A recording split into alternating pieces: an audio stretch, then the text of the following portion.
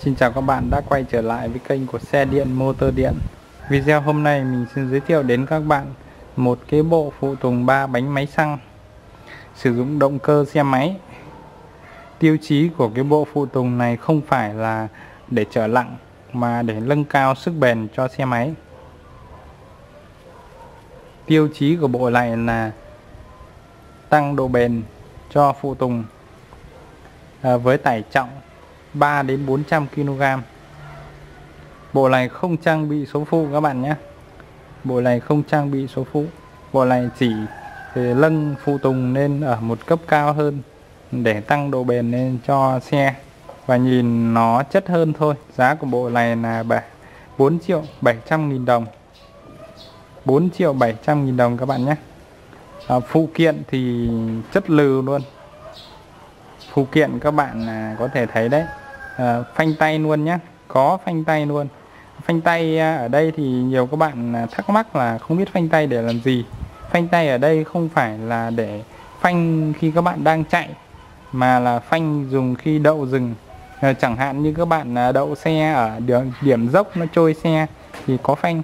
Hoặc là các bạn khi bốc hàng lên mà các bạn đẩy thì nó sẽ trôi xe.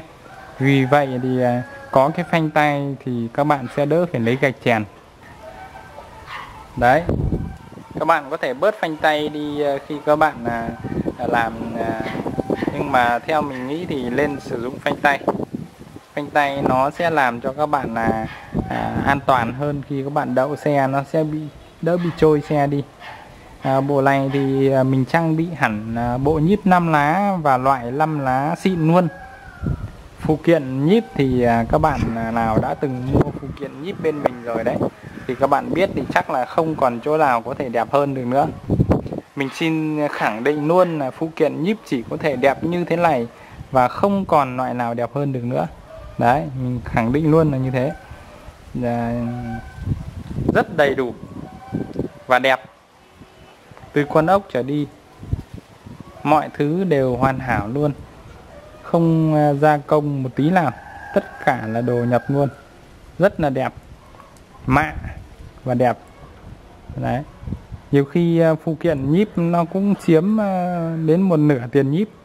À, các bạn à, mua đồ thì à, chú ý cái vấn đề đấy nhé giá có thể chỗ lọ chênh chỗ kia một tí nhưng phụ kiện bên mình thì lúc nào cũng chuẩn chỉ và rất là đẹp bộ cầu này thì mình trang bị cho các bạn là bộ cầu 87 cm các bạn có thể à, sử dụng cầu 80 90 giá thành thì nó vẫn thế thôi.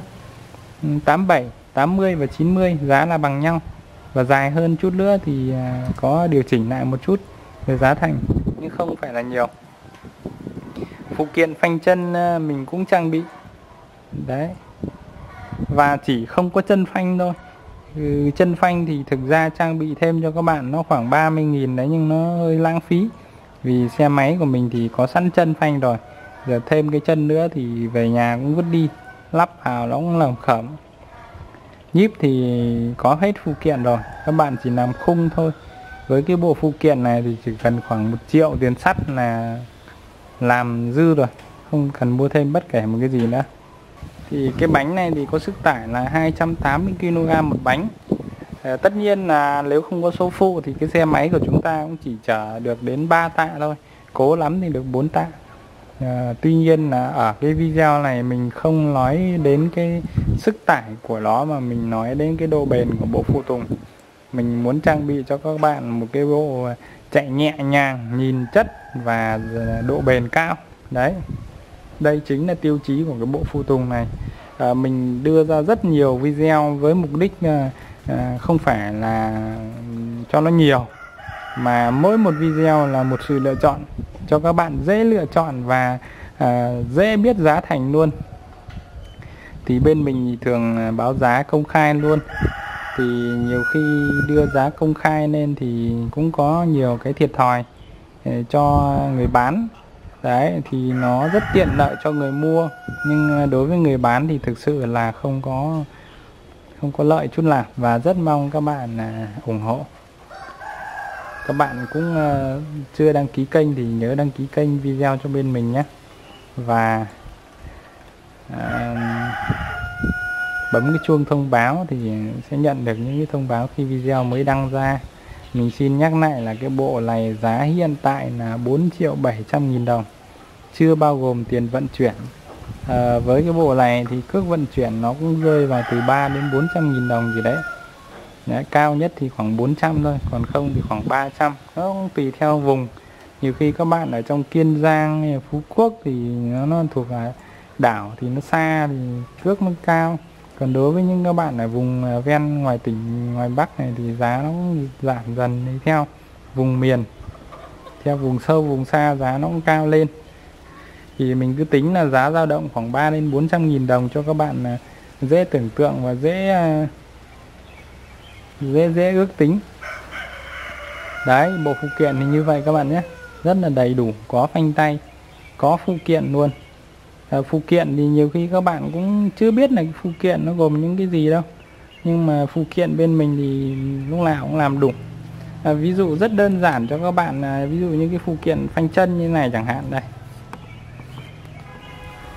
đây. Đây chính là mấy cái à, tay phanh này. Đấy mấy cái tay phanh này thì, thì nhiều khi à, có những bạn không biết là phải dùng những cái gì.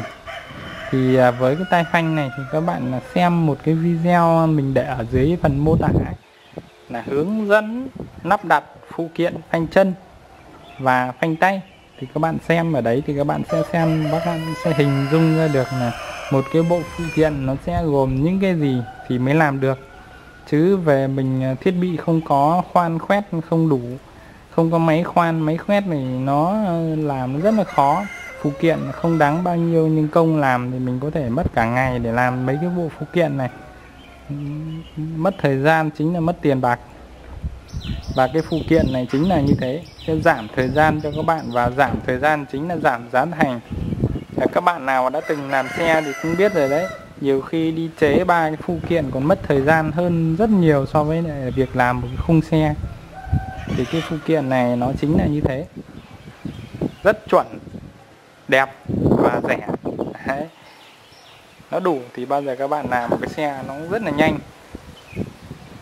À, thứ nữa mình xin lưu ý đến là một cái vấn đề khi các bạn làm cái phanh cơ này thì có một số bạn làm phanh cơ này thì thắc mắc là à, khi quất tải lên thì thường nó sẽ bị bó phanh.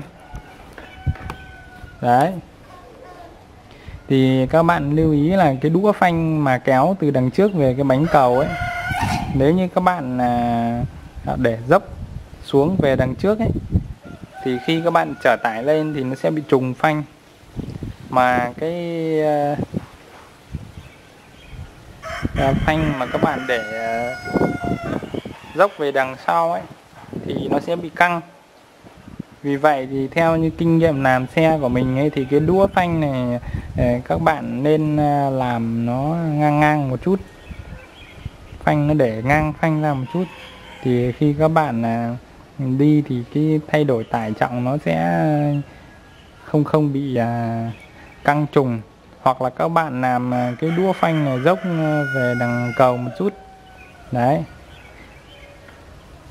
Thì khi các bạn à, có tải lên thì sẽ nó sẽ trùng xuống một tí. Thì nó rất là dễ. Thì cái đấy là các bạn lưu ý là là cái nguyên nhân dẫn đến càng trùng phanh khi có tải ấy, chính là do cái đũa phanh của bạn để dốc. Đấy dốc hoặc là dốc nghiêng dốc ngang cái đấy khi mình làm mình điều chỉnh. Tùy theo tải trọng và mình làm theo cái cái cái độ dốc của cái đũa phanh ấy nó hợp lý thì sẽ khắc phục được cái vấn đề đấy. Mình không hướng dẫn cho các bạn là dốc về phía nào. Mình chỉ nói cho các bạn biết cái nguyên nhân nó ở đấy. Và khi các bạn làm xe thì tùy theo tải trọng của từng cái xe các bạn điều chỉnh cho nó hợp lý.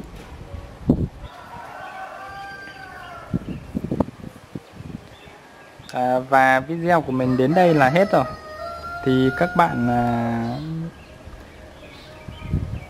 có bình luận hay có thắc mắc gì thì xin vui lòng à, comment ở phía dưới.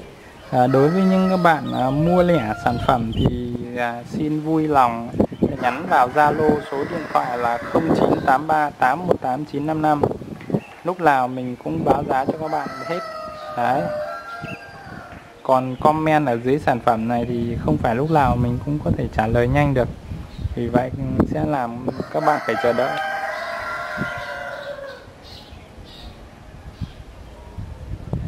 Các bạn à, nào có muốn mình làm một cái bộ video à, à, ba bánh như thế này mà sử dụng phanh dầu không?